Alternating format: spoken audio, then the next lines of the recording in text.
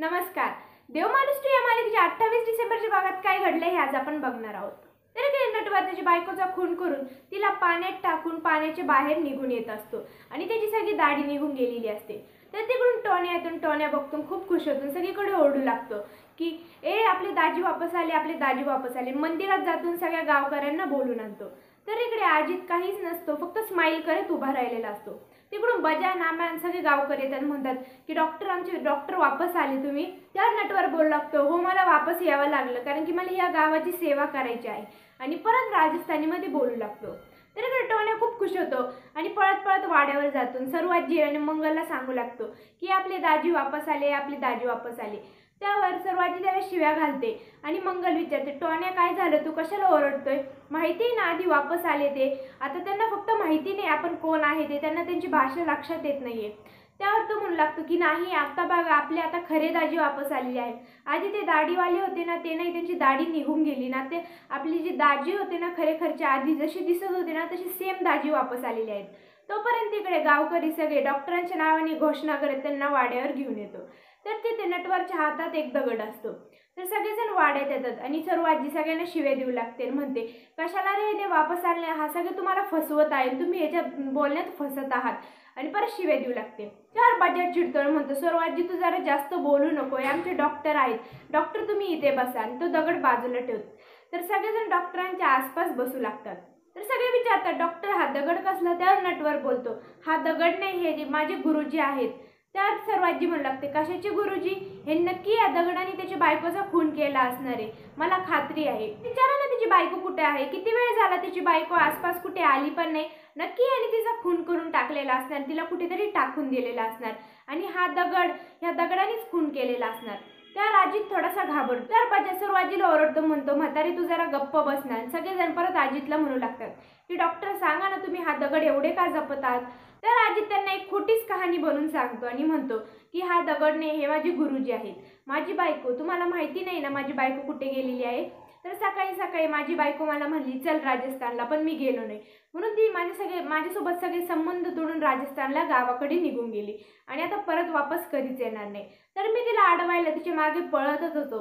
तर नदीतून मला एक वेगळाच आवाज येऊ लागला आणि म्हणू लागला की नटवर तू जाऊ नको. तू इकडे तू तिच्यामागे नको जाऊ. तू माझ्याकडे जेव्हा मी नदी शेजारी पोहोचले त्याच्यातून एक वेगळाच प्रकाश येऊ लागला. आणि सारखं तो आवाज मला म्हणत होता ये माझ्याकडे पाण्याच्या आत आहे आणि जेव्हा मी पाण्याच्या आत गेलो तेव्हा माझे गुरुजी या दगडावर बसलेले होते. आणि त्यांनीच मला सगळं सांगितलं की तुला ह्या गावाची सेवा करायची आहे तू कुठेच जाऊ नको. म्हणून मी माझं सगळं रूप बदलून तुमची सेवा करायला इथं आलेलो आहे. माझ्या गुरुजींनी मला सांगितलेलं आहे. तर सगळेजण खूप खुश होतात आणि त्या दगडाच्या पाया पडू लागतात. सगळेजण त्या दगडाची पूजा करतात आणि त्याच्यावर दक्षिणा ठेवून निघून जातात. आणि आजीत स्माईल करत त्या दगडाकडेच बघत बसतो. दुसऱ्या दिवशी सकाळी आजीत सगळं आवरून खाली येऊ लागतो. तर इकडे डिम्पल मंगलला म्हणत असते की तुम्हाला तो येडा बनवत आहे. ते डॉक्टर नाही येते दुसरंच कोणीतरी. असं कोणी येईन तुम्हाला वेडा बनवेल असं चालेल का? तर मंगल म्हणते डिम्पल अजूनही तुला वाटत नाही ते डॉक्टर आहे. बघ ना त्यांना सगळं माहिती आहे. ना आता त्यांची दाढी काढली तर सेम ते डॉक्टर सारखेच दिसत आहे दिसत आहे काय ते डॉक्टरच आहेत म्हणून तू मान्य कर आता त्यावर मंगल मनातल्या मनात म्हणते हो मलाही माहिती आहे ते डॉक्टर आहेत पण इथं माझ्या जीवाचा प्रश्न आहे. आणि परत ती मंगलला म्हणू लागते हो जर ते डॉक्टर आहेत ना मग त्यांची बायकोला त्यांनी असं ती बोलूच लागते तर मंगल म्हणू लागते काय त्यांच्या डॉक्टरांचं काय बोलायचंय? त्यावर डिंपल काहीच बोलत नाही बाहेर निघून जाते. मंगलही बाहेर जाते आणि धुवायला कपडे घेऊ लागते. तर तेवढ्या डॉक्टर खाली येतात आणि भिंतीची तिथे मागे लपून बसतात. तर बाबूच्या शर्टवर रक्ताचा डाग लागलेला असतो मंगल म्हणत असते की ह्यांच्या शर्टवर हा रक्ताचा डाग आला तरी कुठून? हे पण ना कुठे काय धडपडतात ना कळत पण नाही. ते बाबू येतो म्हणतो काय झालं? कोणतं रक्त? तर मंगल त्यांना म्हणू लागतो अहो तुमच्या शर्टवर रक्त आहे. कुठे धडपडला काल तुम्ही? तर मंगल त्याला सगळे चेक करू लागते पण त्याच्या अंगावर कुठेच जखम नसते. तर मंगल म्हणते असं कसं काय होऊ शकते? रक्ताचा डाग आला तरी कुठून? तर इकडून अजित म्हणतो की लवकरात लवकर मला हा रक्ताचा दाग गायब करावा लागेल नाहीतर ह्यो हा पुरावा मागे राहील माझ्याकडून. तर इकडे मंगल वाड्याच्या मागे धुण्या धुवायला जाते तिथे धुणं धुतच असते. तर तिथे अजित येतो आणि अजितच्या मागून डिंपल त्याला बघत असते. तर अजित राजस्थानीमधून मंगलला म्हणतो की मला चहा द्या ना. पण मंगलला काहीच कळत नाही. आणि परत तो मराठीत बोलतो की मला चहा द्या ना. तर मंगल म्हणते हो तुम्ही खूप दिवस झाले. पहिल्यांदा काहीतरी स्वतःहून मागितले थांबा मी आता डिंपलला सांगते. तर आदित म्हणतो नाही तुम्ही द्या ना तुमच्या हातचा चहा खूप छान असतो. तर मंगल खुश होते आणि किचनकडे जाऊ लागते. तर तिला डिंपल दिसते आणि डिंपलला म्हणते की चल खूप कामं राहिलेली आहे तुझ्याकडे खूप काम आहे चल इथून. आणि मंगल डिंपलला घेऊन जाते. तर अजित बाबूचा शर्ट घेतो आणि त्याच्यावरचा रक्ताचा डाग पुसू लागतो. तर दुकानात नाम्या बजान गावातले काही लोक बसलेले असतात.